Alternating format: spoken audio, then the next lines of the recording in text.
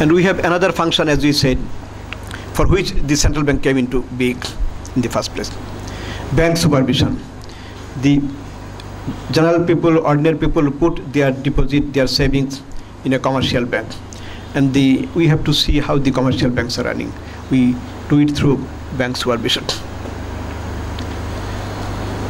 The role of the central bank is increasing, becoming more critical, becoming more important with the advent of commercial banks, with their smart behavior, and sometimes there are many countries who have destination of foreign banks and the central bank is a little lagging behind compared to foreign commercial banks. They bring in new technology, new in innovation, and the central bank has to follow them to try to regulate them, to try to bring them into orbit of regulation. In many countries, including our one, there is overseas banking. No. Hmm. So we have to be very careful, very considerate with all those banks as well. Uh, there is Basel Agreement on bank supervision. That is an international requirement. All banks, all commercial banks of the world should achieve that much of requirement to run their business. If we don't agree to the Basel Agreement, if we don't follow Basel Agreement, foreign bankers will not like to have correspondence business with our local banks. So we have to reach that standard to do business with maybe US banks, German banks. So this is a requirement. Of course, we get some breathing time to achieve that target regarding capital requirement, strict bank supervision, and to deal with another problem which we call NPL, non-performing loan. Suppose you give loan and you have maybe 20% of non-performing loan. Foreign banks of US will not like to deal with you because 20% of your asset are toxic. They will like that you bring your non-performing loan down to 1% or maybe less than 1%. There are many countries where the NPL is really very high. Our is one. We had a discussion in BIBM some weeks back. Nepal and also Bhutan, they have lesser NPL than our country. So that is a concern of the central bank. That is a concern of the policymakers in this country, including the government. So we have to bring down that NPL. So the Basel Agreement, Basel Agreement, they want that we should have risk-based supervision on the loans and advances made by our, our banks, making that you make a loan to a person, to a company, where your risk is 100%, then you have to keep a provision of 100%. If it is less than that, you have to keep it down. So for each and every loan, you have to keep your provision so that you don't run. You don't have to face the problem of run. We have brought some other uh, agency in, in place in our country that is called credit rating agency. When you make a loan to an individual or a company, you have to see how much they can take credit from a commercial bank or a, from a formal sector. This credit agency came into being maybe three or four years back. Before that, we didn't have this credit rating agency in our country. Maybe Sudan or Philippines maybe have all those things. So these are the instruments or these are the agencies who have come into place to take care of good loan and bringing non-performing loan down.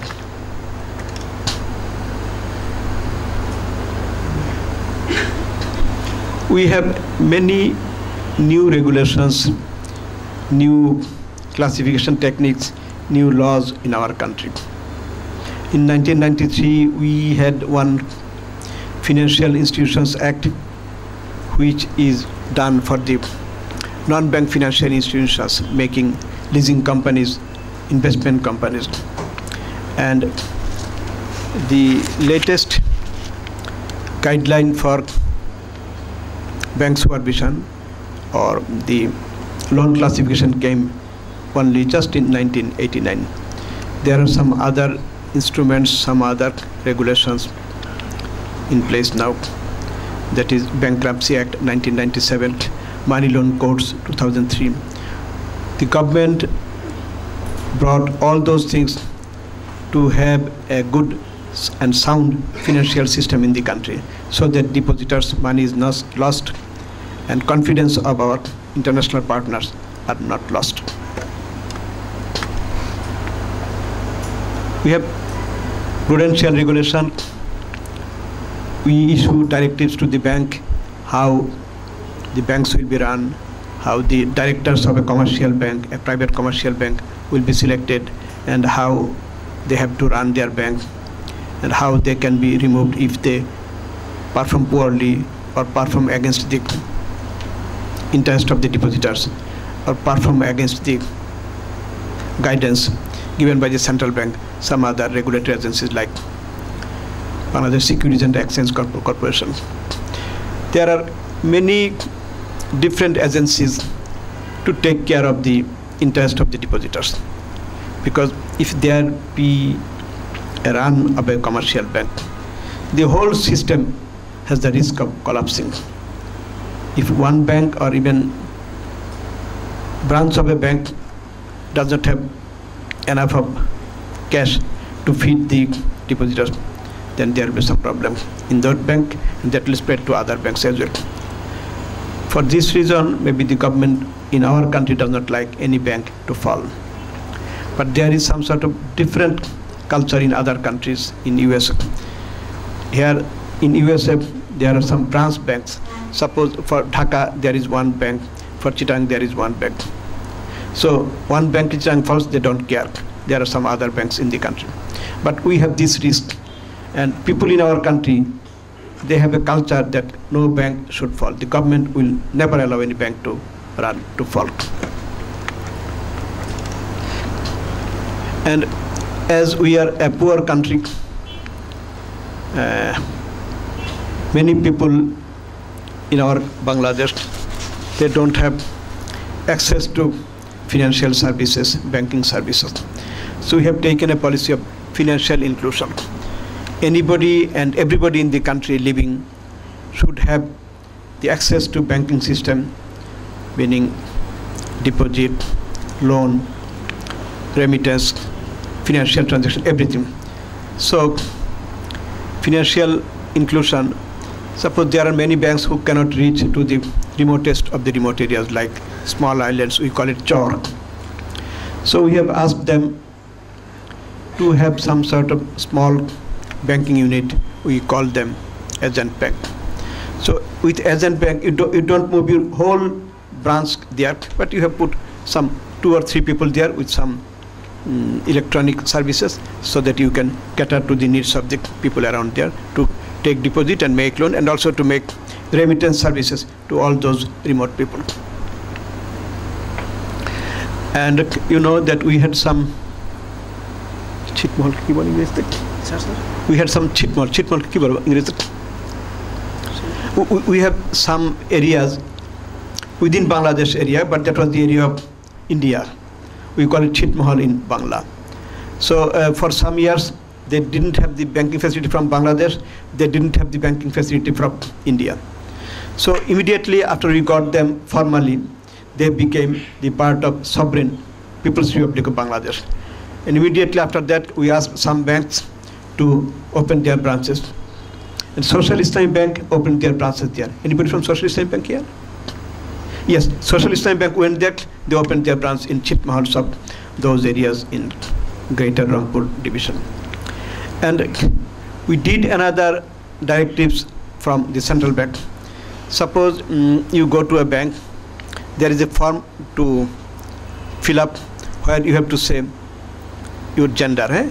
You say male, and when she goes, she says female. There are some other people living in this country who is neither a male nor a female. We call them Hijra. And transgender, eh? Common gender. common gender. We can co- com- call them people of common gender or transgender. We we made a circular from the central bank that those people should also be allowed to have access to the financial services. So now you cannot regret a hijra to open an account. No, you cannot say. If he or she makes a complaint, you will be taken into account. So we did these things for Chitmahal and those Hijra people to do some sort of financial inclusion. There are many people who cannot take the benefit of uh, loans from your bank. So we asked them, we asked the banks to open some sort of windows to make loans for the SMEs, small SMEs and other very small people, small business people. We have another responsibility to maintain our par value of taka. We call it exchange rate, exchange rate management. When the price of our par value taka should be commensurate with the growth of our economy, and we should not be very, we should not allow very volatile situation in the foreign exchange market. As I said, when the price of dollar goes up, we increase the supply of dollar in the economy. When it goes down, we bring them, and this is helps in our reserve stock also. And we get this foreign exchange through official mechanism through banks. When it comes through official channel, this is, this becomes a part of the reserve of our country. And you know, all these foreign exchange coming formally are the asset of the government and the Bangladesh Bank looks after this arrangement. If you have a dollar, this is the property of the government, not you. You can get only Bangladeshi taka. Suppose this lady coming from Philippines, she brings some US dollar. When it comes in the inside country, this becomes part of the government, asset of the government, not this bank, not this hotel. And she can get only Bangladeshi taka. When she goes out, she can buy US dollar formally. And this is reflected in our reserve position. It goes up, it goes down. So Bangladesh Bank takes some steps to make foreign exchange is coming smoothly, foreign exchange is going smoothly, and no money laundering is done through these things. Because if our money goes without any check and balance, that may create some problem in our reserve. And we may be in a poorer condition, at, at least in that account, and our economy will suffer.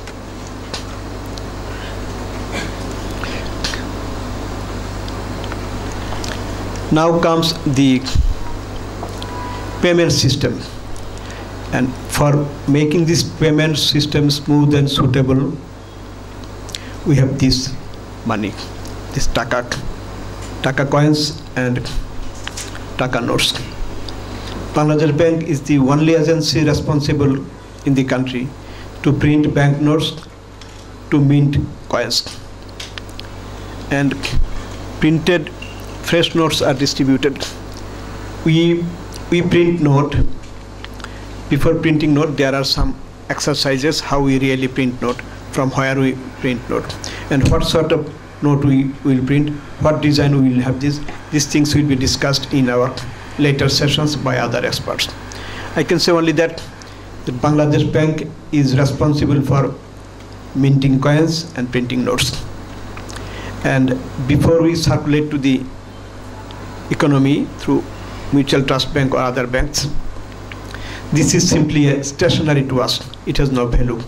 When we put some Bangladeshi taka in her account or in Social Islamic Bank's limited account, then it becomes really currency or money.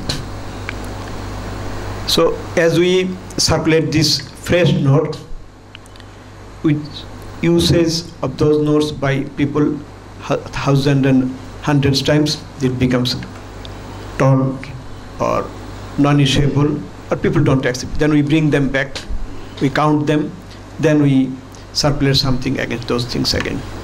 So this cash management is really important for our country and for your countries as well. And for this cash management, this course is being hold, held here. We mainly distribute our currency through a government bank, Sonali Bank. We have chests, sub chests. We have our Bangladesh Bank branches all over the country. Through them, we distribute notes. Genuine notes, fresh, issuable, non-issuable, and we have to do many exercises to distribute those notes, bring them back, and examine here and reissue them, and sometimes replace them.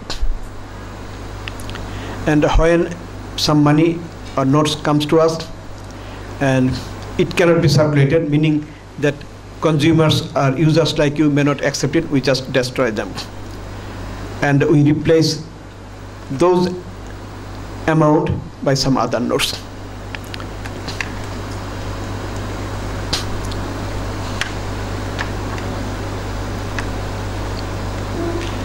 And it is a problem for us, how do we do with those destroyed notes? We burn them or we make brick? Difficult. Because when we burn, there comes bad smokes which cause some sort of environmental challenge. And in many countries, they make it bricks. They call it briquette, and they use in a different way. There are some small islands who do some sort of land reclamation with these destroyed notes. I don't know what the Philippines or Maldives are doing because they need to re uh, reclaim lands from the sea.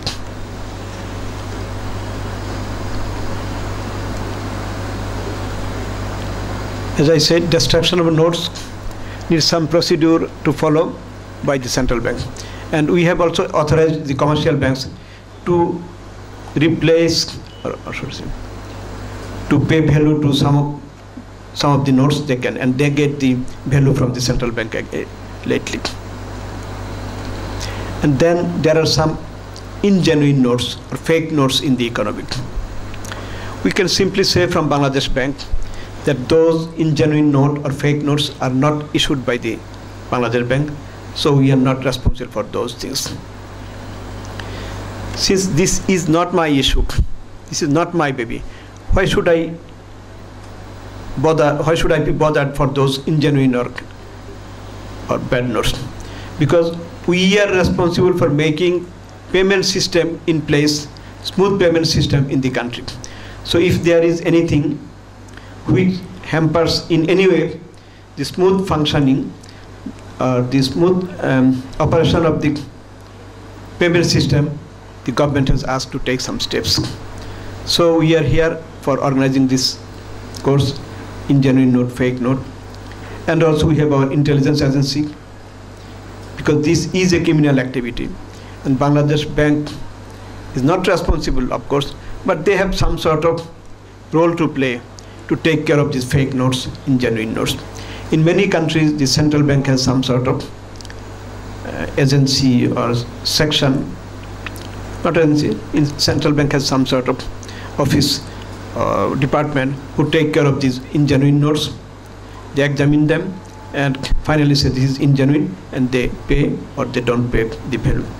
And they pay and they hand over this player or the criminal to the police for further law enforcement. We were trying to establish one such unit in our central bank with the help of German central bank, but ultimately did not give up successful. And on many occasions, if there are high value note, fake note in place, then the government has to take recourse to demonetization of those notes. In India, you have seen that some few days back, they demonetized 500 and 1000 taka, 1000 rupee notes.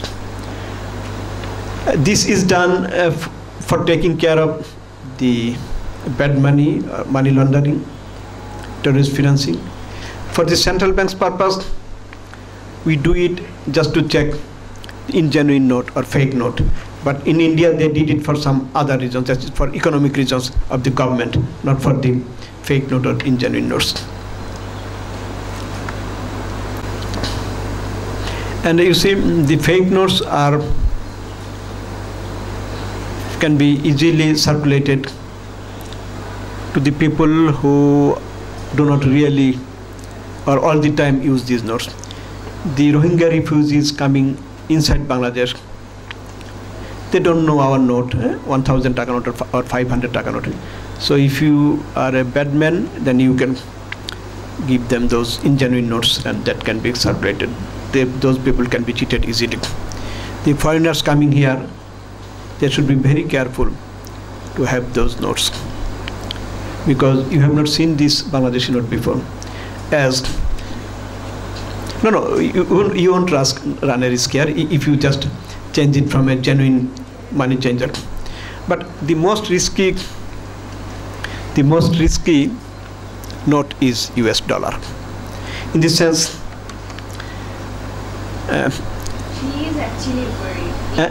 she is actually worried. In airport, she got a hundred taka note, and she uh, led it to me and said, "Misha, is that really a good one?" I said, "Yes, it is a hundred bucks. You can use it, no problem." He said, "Is it really okay?" She is still confused. I said, "No, it's okay. It's a good note here. You can use it. Oh, it's fine. not a fake note. Still, it's not torn and mutilated. You can use it." I had such experience in Indonesia. I came back, I was coming back, they gave me a note from the hotel. When I came to the airport, I gave it to the driver, he did not accept it. I said, yes, I took it from the hotel. Then I forgot the name of the hotel. Then I called another man whom I know. He said, yes, this is genuine, but it has become কি বলে এটাকে বাতিল it has become বাতিল ঘোষণা করে yes it was declared illegal from that date you can exchange it but you cannot exchange it in the airport. So that money has gone. And uh, that happened for me in indonesia. And also i had some british pounds in my possession which were not in circulation because the government banned it after that period of time.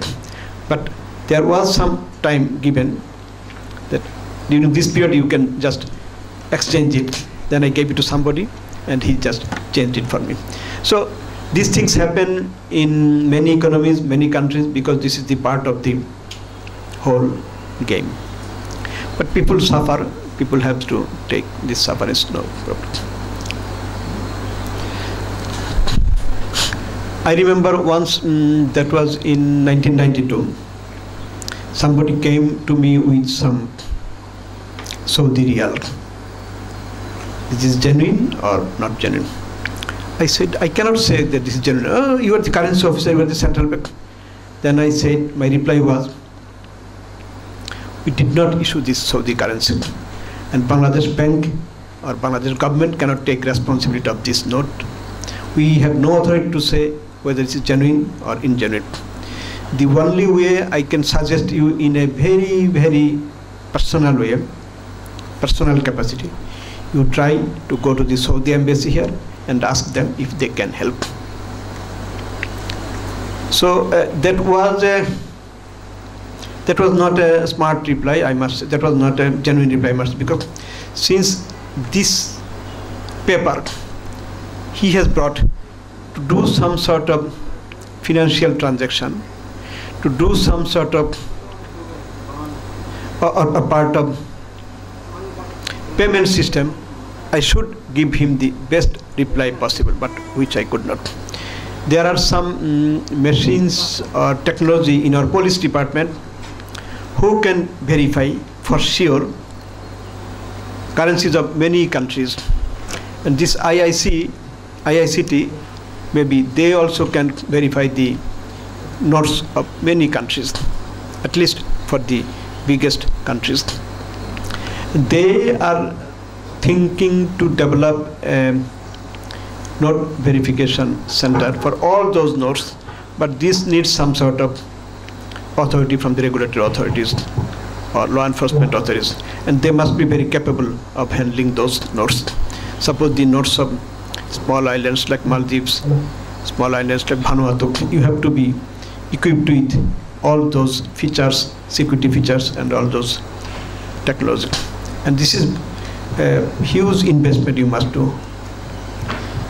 So everything we are doing to run a smooth payment system in the country. And this is very important. Sometimes we try to avoid our responsibility, which is not really praiseworthy. We use money and we love to have more and more of it. We are all here to have more and more of money, to get more, more promotion, more increment, and more money.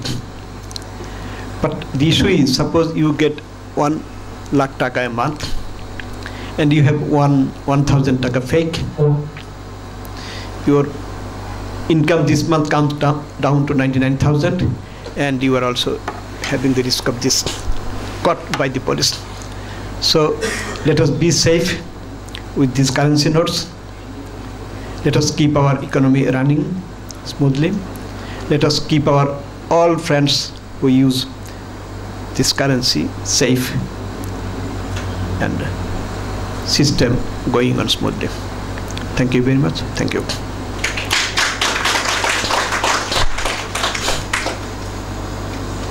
So if you have any points to make, I'll try to respond.